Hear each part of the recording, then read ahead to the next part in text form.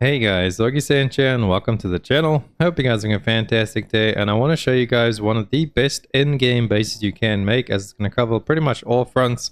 There is iron ore for ingots and then there is also quartz which you will need to make circuits and polymer and coal and everything. You can get everything right over here. The only thing that it doesn't have is sulfur but for sulfur you need to be in the desert biome. So we will have another video coming up of a desert base pretty soon.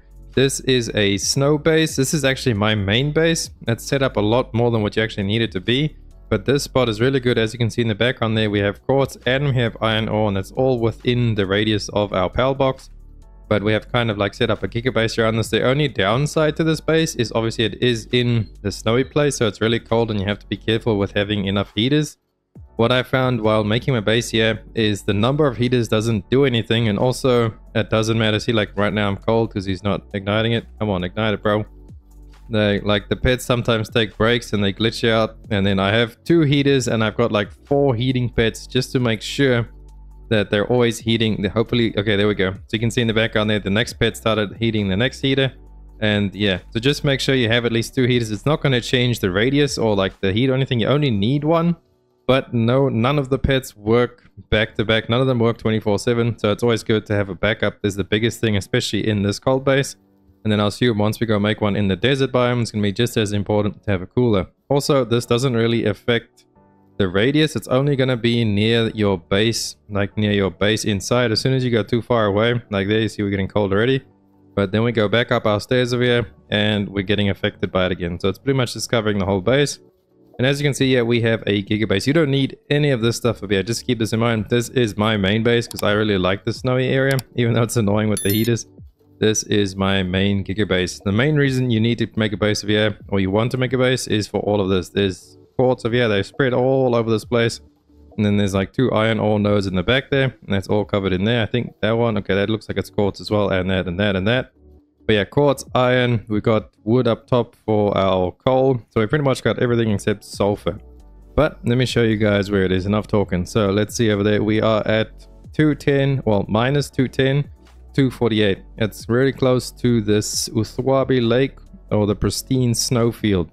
Right over there, I have it marked. It's right on top of this little hill over here. And another thing is you pretty much, you'll never get invaded because it's right on top of a hill. You physically cannot get invaded.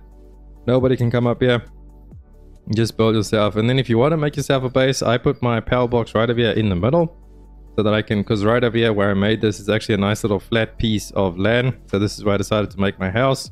And then a pro tip is i actually made three story house but the stairs they like glitch out on the stairs because i made it like very short. Like right over here i put another uh, roof.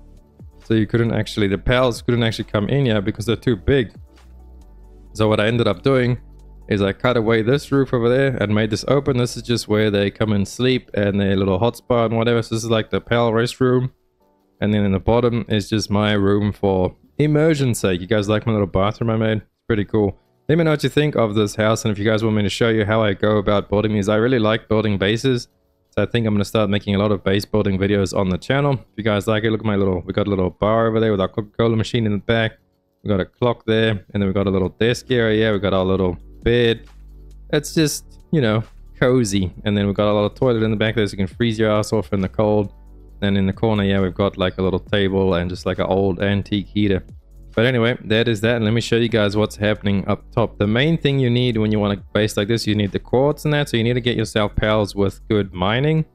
The best pals to get for mining, I would say, is the tortoise, these guys over here, or Digtoise, because they only have mining. They're level 3 mining. You can see they're idling right now. And if you don't want them to actually mine this stone over here like they are right now, all you're going to do is just take this stone away. And then all they can do is go mine the quartz and the ore there at the bottom. So if you want them to do that, I don't really care because I have so much of it stockpiled now. I've been doing this for a while. So I just made this my main base and then it so happened that I have that and that as well. But the main thing you need is to get yourself some food. Obviously you need to feed your pals. So you want to get yourself either tomatoes or lettuce. That is the best thing for them to eat. It's better than berries. It keeps their hunger a little bit longer. So you want to make sure you have your food and then you have your... You want wood for your charcoal because you can get wood and you can actually make charcoal. I believe it was at the production assembly line. Go have a look. I forgot where it was. Uh, carbon fiber, coal, Maybe it's at their grinder. At somewhere you can make it. One of these things over here, I always forget. Maybe, I think it might be that one over there. Yeah, it might be this. There is there, charcoal from wood. So it's at the furnace. At the furnace, you turn all your wood into charcoal, and then you turn your charcoal into the next thing that you need, and circuits and all that comes from quartz. So you pretty much have everything covered as you see there. Carbon fiber you can make from charcoal. Circuit boards you make from quartz, and then the polymer you make from high quality power. Well, that's the only one you're gonna have to actually go out and farm yourself. I don't know what's the best way to do that yet, except for just killing all the boss monsters and the big guys. Also, the big uh, tree dude, he usually drops quite a lot. This guy, the Mammorest. So if you find them out in the world, make sure to take them down. They usually drop a lot of high quality pal oil. But that's pretty much it. You see we're cold again. I have two heaters. They're not working. He's hungry. That's one of my heater boys. And then if you if they just don't want to heat and you're gonna die, literally just go fast travel somewhere else until they decide to work. Also at night, make sure you sleep because if you're in the space there, some one of them started heating again if you are yeah at night you definitely want to sleep as soon as it's nighttime because obviously they all go sleep as well.